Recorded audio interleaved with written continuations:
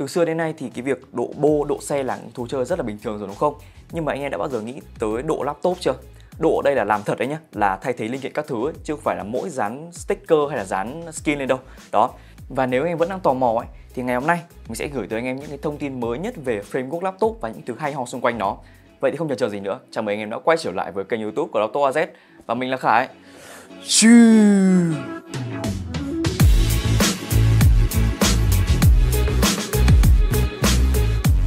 Nếu anh em đang tìm kiếm cho mình một chiếc laptop gaming hay là ultrabook với mức giá cực kỳ hấp dẫn thì anh em cũng có thể là ghé qua laptop AZ với đường link dưới phần mô tả video nhé. Mình đã tìm kiếm được thông tin về hai chiếc framework laptop khác nhau. Đầu tiên là, là phiên bản 16 inch và thứ hai phiên bản 13,5 inch. Với chiếc đầu tiên là framework laptop 16, nguồn mình có tham khảo được là kênh Dev2D. Chúng ta sẽ có một cái nhìn về mặt bàn phím trước nhé. Trông khá là đã mắt đúng không nào? Phần bàn phím thì sẽ có nền đen này, phần chiếu người tay thì lại có cái màu kim loại sáng và trông nó hơi bị lệch tông một chút xíu. Nhưng mà ở đây sẽ có cái chủ đích của họ đấy nhá. Chút nữa chúng ta sẽ cùng tìm hiểu. Quay lại với chiếc máy thì phần bàn phím chính chúng ta sẽ có là LED RGB này, còn phần phím số bên cạnh thì sẽ là phần keycap có màu trong. Và giờ đến cái điểm hay ho nhất cho chiếc máy này đó là custom theo sở thích cá nhân và chúng ta không cần phải sử dụng bất kỳ một cái dụng cụ nào khác như là tua vít hay là cờ lê chỉ dùng tay thôi bởi vì máy không có một con ốc nào cả anh em có thể theo dõi thêm phần video nguồn ở đây à, đầu tiên là gạt hai miếng nhựa ở góc dưới máy ra này sau đó là rút được cả phần tất bắt ra luôn. Phía mặt dưới chúng ta sẽ có các cái chân pogo pin thường thấy trên các thiết bị điện tử nó có cái tác dụng là đầu nối để truyền điện và thông tin. Chính vì lý do đó nên là cái tất pad của chúng ta mới có thể là tháo ra dễ dàng và đặt vào vị trí nào cũng được. Hai miếng nhôm bên cạnh cũng sẽ tháo ra được luôn và đây này chúng ta sẽ có thể điều chỉnh được phần tất pad này đến nơi mà bạn cảm thấy là khi sử dụng ấy nó sẽ là dễ dàng và thoải mái nhất hai miếng nhôm vừa rồi thì là cạnh nhau phía bên phải, thì giờ chúng ta có thể là để mỗi miếng một bên, trông nó sẽ cân đối hơn nhiều. Và quan trọng hơn hết là chúng ta không cần phải động tay động chân quá nhiều, chỉ có hai thao tác thôi đây là rút ra và đẩy vào, rất là easy. Mà kể cả là phần bàn phím hay là numpad bên cạnh luôn, tháo ra tháo vào rất là dễ dàng vì hoàn toàn dùng nam châm mà, không còn dùng đến phần ờ, ốc vít gì cả đâu.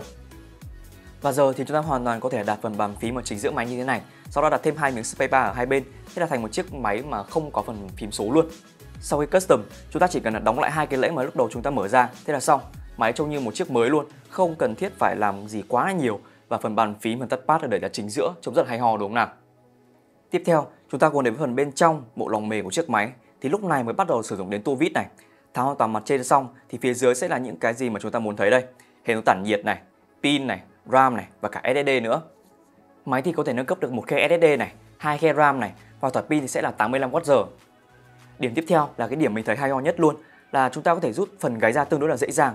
Ở đây là hệ thống tản nhiệt này và cho phép chúng ta lắp thêm một cái card đồ họa rời nữa, đó là RX 7700S của nhà AMD. Đây chính xác đúng là card đồ họa rời luôn đấy anh em ạ. Còn nếu không thì chúng ta cũng có thể là dùng card tích hợp là con RX 780M hoàn toàn bình thường. Viền màn hình cũng có thể là tháo ra rất dễ dàng trong tầm vài giây mà thôi, bởi vì họ sử dụng là nam châm chứ không phải là băng keo như một vài hãng khác điều này thì mình nghĩ rằng là có thể giúp cho chúng ta là sửa màn hình hay là thậm chí là có thể độ chế màn hình thêm cũng được đó mình cũng có tìm thêm được một video khác nữa về một phiên bản bé hơn của chiếc máy này, đó là framework laptop 13.5 ở ờ, video nguồn ở đây thì mình sẽ tìm từ kênh đó là notebook check.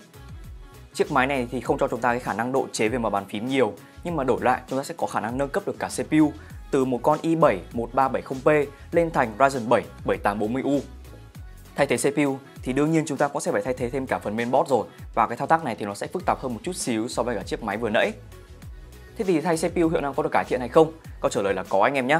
Khi mà họ test với cả Cinebench R23 thì số điểm đa nhân của con Core i7 1370P lúc đầu sẽ là 13.159 điểm, còn khi mà độ chế lên thành AMD Ryzen 7 7840U thì nó sẽ đạt con số là 13.981 điểm. Còn với cả PC Mark 10 là một cái bài test mà bao gồm rất nhiều các tác vụ khác nhau thì ở đây với Ryzen 7 7840U nó sẽ cho ra con số là 7.157 điểm, còn với Core i7 1370P thì sẽ chỉ là 6.418 điểm mà thôi. Chênh lệch lớn đến như vậy bởi vì là cả đồ họa tích hợp RX 780M của AMD thì sẽ mạnh hơn kha khá so với cả Intel Iris Xe đấy anh em ạ. Tổng kết lại thì anh em thấy sao về hai chiếc máy ngày hôm nay? Framework laptop 16 và Framework laptop 13.5. Còn với bản thân mình thì mình thấy rằng nó khá hay ho, nhưng mà hay ở cái mức là người xem thôi nhá. Còn nếu mà là người mua thì mình thấy rằng nó không quá thực dụng bởi vì ờ, với cái mức giá bỏ ra đi thì ờ, mình thấy phiên bản rẻ nhất cũng lên tới là 1.600 đô rồi tức là 40 triệu đồng còn có những phiên bản lên tới là 2.000 đô tức là 50 triệu đồng thì chúng ta hoàn toàn có thể tìm kiếm những cái mẫu laptop khác thực dụng hơn rất nhiều với hiệu năng tốt hơn, tản nhiệt mát hơn, màn hình đẹp hơn hay là build quality cứng cáp hơn. Cái số tiền lớn như vậy là chúng ta phải bỏ ra cho cái thiết kế của họ, cho chất xám của họ và cho những cái công nghệ mới của họ nữa. Liệu rằng em có mua chiếc máy này để có thể thỏa mãn được cái niềm đam mê là độ laptop hay không thì cũng hoàn toàn có thể là comment xuống bên dưới nhé. Còn giờ thì cảm ơn anh em rất nhiều vì đã xem tới tận đây. Hãy nhớ like, share và cũng là subscribe kênh YouTube của Laptop AZ. Cảm ơn anh em. Xin chào và hẹn gặp lại. Mình là Khải. Cheers.